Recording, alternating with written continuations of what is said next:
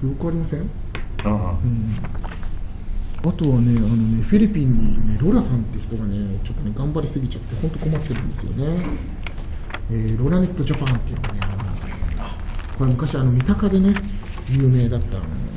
これ昔渡さんがねなんかねあのなぜかそこにロラネットジャパンでなんか撃退した。そう撃退した、えー中の一人実はいたりとかね。非常に面白いんですけど、えーすごいんですよ。あとこのね,、えーっとね私も最近だからキムカンカンインチュルっていう人がいてそれがあの従軍ヤフでかなりその有名な人なんですよそのカンカンインチュルっていうあの確かしょあとなんだっけ関三樹の関にえっと日のねインチュルはちょっと忘れちゃった。何だったかな。おばちゃん？男？あおばさんですけど。でこのこの女性の人がっていうかもうもうだいぶご高齢になってるんですけど16歳の時に、まあ、従軍員ワンクで連れ去られてっていうような話で。でそれをねだからその民主党のね今回の人権侵害救済法案の一人の大阪代表の一人ちょっと名前忘れちゃったんだけどそれをね日本に連れてきたのだよねそのカン・インチルさんって。それがねその民主党の大阪に出てきてあの人権侵害救済法案の PT プロジェクトチームに入っている人がそのカン・インチルさんっていうのを日本に連れてきたっていう。そういうねあのってね民主党っていうのは本当ねそのそういうその日本以外のところでこうあるんですよね。本当ねびっくりするようなあのメンツなんですよ。だから本来であればねあのこういうふうな人たちがさあーらららら。ね。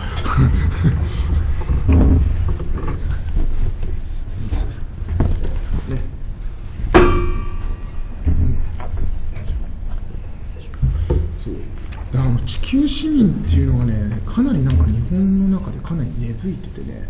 だからほらあの昨日日記っていうかさっきあの九段さんに見せたあのえっ、と和田摘みの和田摘み会あああれはちょっとねあまりのひどさに言葉を失うよね。言葉を失うでしょ？あの和田摘み会っていうのがあってねこれね多分ねえっ、とたどると多分ねここにの人たちとねなんか連携してそうな感じなんですよ。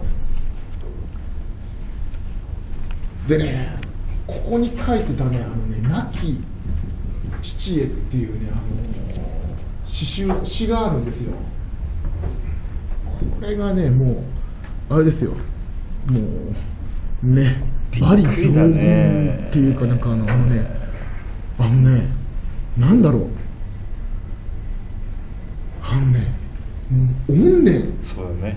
怨念を感じる。切した怨念の塊だよね。そうそう。もう逆恨みの。逆恨みの。なんかね簡単に言うとなんかねあのこう血でなんかこう恨み状を書いてるぐらいのなんかそういうなんか雰囲気なんですよ 古川さん詩を読んだ方が話が早いと思うよ。読みたくないだろうけど。読みたくねえ。読みたくないだろうけどあの詩を読んだ方が。じゃあ触りだけ言うよ。お俺俺これバイ俺これ読んだからって売国度って言わないでね。この人たちが書いてるやつだからね。まず大阪府、えー、と泉涼子さんって人なんですけど亡き父へあるよね。えー、広人が死にました。あれあなたがあれほど憎悪した広人はあなたより7年5ヶ月も長く生きながらえてぬくぬくしとぬくぬくとしたベッドでの上で死にました。最後まで残虐の限りを尽くした罪状を認めず最後まで人民への謝罪も自責の念もなく最後まで人の血をすすりながら広人は死にました。菊のカーテンに守られ今はブルジョア権力の飾り物としてこの国の奴隷根性の象徴としておぞましい過去醜い素顔。憎みてもあまりにもかつての絶対君主は生きている間うんぬんかんぬんって感じですね。もうちょっと気分悪くなるもうねうん。もうおかしいでしょ。おかしい。うんでね途中途中でねこの人ね、途中でね、こんなこと言ってるんですよ、父はあなたはああなただけには謝らなければならない、私の勤務する学校に、そのね、その陛下の死をそのやる、そのなんていうか、長長長長期？長期っていうのかな、あのこう要はあの黒いあれを頭につけてあれを掲げることを阻止できなかったことをものすごくなんか無念に思っている。こいつ教師なんだよね。そう教師なんですこの人。ふざけんなっていう、は い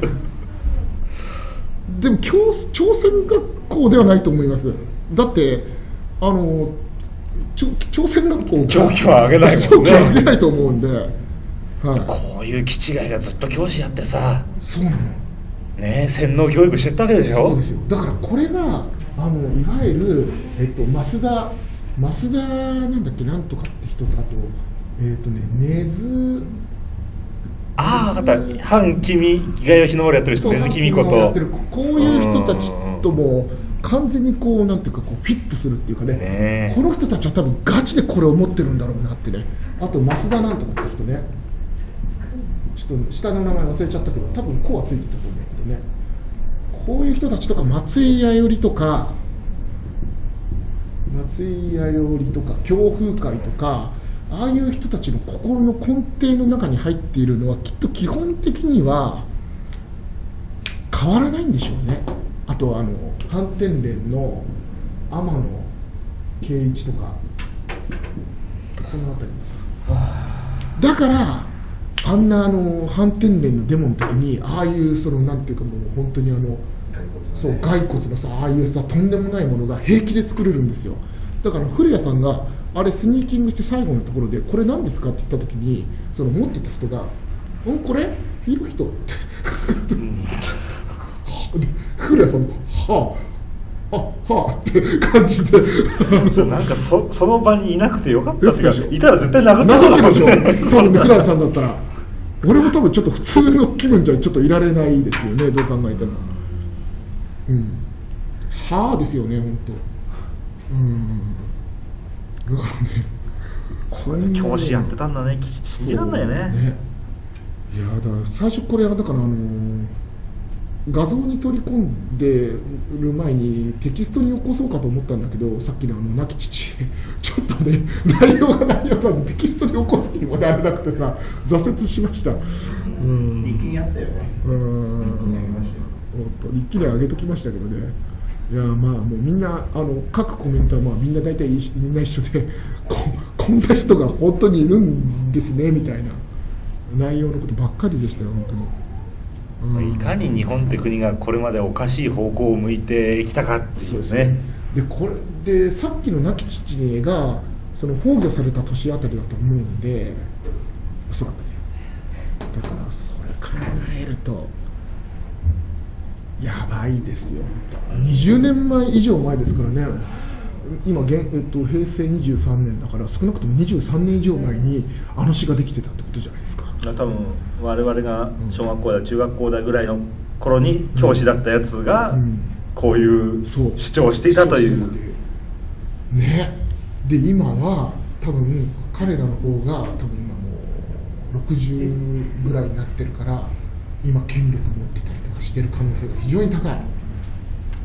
でまあこの人とかはさこの人とかのねあの動画とかもちょうど自分の日記に上げといたんですけどこのえっ、と党を糾弾するこのねあのね歌ってるフォーク歌手の人がね歌がひどいんだ。なんだっけな。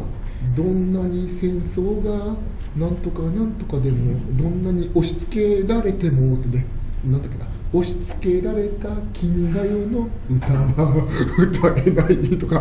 なんかさおでまた汚い格好して。るあのだからほら70年代って結構さあの、まあ、あの汚いのがかっこいいっていうのがあったんでてかねむしろ押し付けられた憲法9条なんとかしたいんだけどそうそうね、本当ね、こっちとしてはね、そう、本当そんな感じですけど、なんであんな日本国憲法ね、そう、ヒッピーの格好って基本的にその、うん、今でもいるんだねそういう残党が。うん、多分ね、チューリップハットとかすごい似合いそうなあの人でした。広がったすすが広そうすすがが地域とかね。それなんかあれじゃん。のっぽさんじゃん。のっぽさんがまさに、あれなんですよ。あの、あのあのちょうど始まった頃ってあれがまあ死後だけどなナウいんですよ。トレンディーだった。トレンディーだったんですよ、うん、はそう。だからねそういうのがあったりとかしてですね。まあねたまにあのなんかのっぽさんがなんか爪楊枝持っててなんかできるからじゃねえんだよやるんだよとかなんかいうなんかあの画像がすごい怖いんですけどねなんかこうなんか爪楊枝の長いの持ってなんかニヤって笑ってるのがあって知らんすごい怖いんですよ、うん、すごい怖いんですよあれ、うん、あの人普通に喋れるからね。ヒッピーってわけじゃなくて多分当時のねそのあのあれがあったね。あのあれだったんです。けどそののっぽさん含めてねなんていうかいろいろとす。ごかったです。そうそうラブピースねうんいやだからこういう風な人たちがねあのこうなんていうかね暗躍して結果だから松井やりさんとかねだあのそのワムっていう中ではた多分かなり深刻化してるんじゃないです。かだってあれだけの大きなそのフィリップを作ってさやってるわけですから。ロラネットというのは昔もあの従軍慰安婦店そうとか従軍医薬あの三鷹のそうロラネットね。この立ち上がるロラたちっていうのがあってね。これ。でねあそこのねそのかつてのその、えー、と渡さんとかがとかあと周平さんとかが3人であのやってた時にあの資料どこからって言った時にワムからって言ってるんですよ。ワムってこの WAM のこのワムなんですよ。ここからあそこの三鷹市のあのロラネットに送った資料っていうのは実はこの、えーアクティブミュージアム女たちの戦争と平和資料館っていうところのパネルを使ってるんですね。ホームページ見ると確かにパネル利用の方はっていうところがあってそのパネルのその資料をねあの貸すことができるらしいんですね。それなんか一度借りてきて晒しますか？なんかこの引き違いどものなんか非常にそうそうそうそう向こうの、えおかしな人たちの証拠物件ということでなんかあの戦中の問題を考える市民の会とか名前つけといて、ええ間違ってないですよね。間違ってない間違ってない。うん。なんかそういうのちょっととりあえず作ってやっときましょうか。うん。で結構ねだから皆さんなんかでもねかなりあとはあのえっとねでねその時ね結構話題に上がってたのがなんか水曜デモとかっていう話があって水曜デモのここに私写真写ってるんですよねとかなんか言ってやってたけど水曜デモって僕一番最初に思うのがあの大阪のやつとかあれ水曜デモですよね。でこの水曜デモが一体ねでも場所は早稲田だからでも別にそこじゃないよなと思っててこれが果たして大阪なのかどうなのかっていうのはすごく。何なのその水曜デモっての。は水曜デモあと、うん。韓国韓国のあのそう。ハルモニ日本日本大使館の前でもやる。のも。ああれも水曜。日本大使館のやつもあるんだ。あ実はそっちだ多分。そんなのになんで日本が協力してるんだっていう、そう。あとねなんだっけな一人やっぱりあのー新しく新規で来たやっぱり全然私より年上の、えー、と女性の方が実は私もあのかつてですねつってあの、えー、とよくやってたのがあの韓国、えー、と韓国謝罪ツアーっていうのによく行きましてみたいな でその韓国多分半日記念館とかあそこのところの資料を見てあの時のそのなんかあのひどい状況を見るとですねみたいなうんぬんかんぬんっていうのはなんかこうやってはあこういう人いるんですねみたいな感じでなんかこういてなんかすごいあの逆になんか新鮮な気持ちになりましたけどね、うん、そう徴用は今277 277だっけ？もうちょっと少なかったような気がするけど。254名じゃなかったっけ？ちょっと243 243か。そう243名であのーそう。でね確かねえーっとだからあの昔よくあの8ビットっていうのがあるんだけどこれが管理できる数が255だったんであのあって言って C 言語で言ったところだとあのあアンサインドキャラでいいんじゃんっていうふうなねあのこれでこれで扱えるよみたいな話をよくあのえー、とかなんか昔あのちょっとね。こうちょっとうちの会社でもあのちょっとね私の話をあのこう真剣に聞いてくれる人がいるんでそのプログラマーの子がいるんだけどあの実は本当はね連れられてきた人で、まあ、徴用って言うんだけどってねあの来たのがね実は243なんですよ。ってああって言ったらあのあれだね8ビットで管理できますねって言ってあの1バイトでいいじゃないですかってから言ってなんかよく話してましたけどね、ファミコンでできるえーファミコンで管理できる、はい。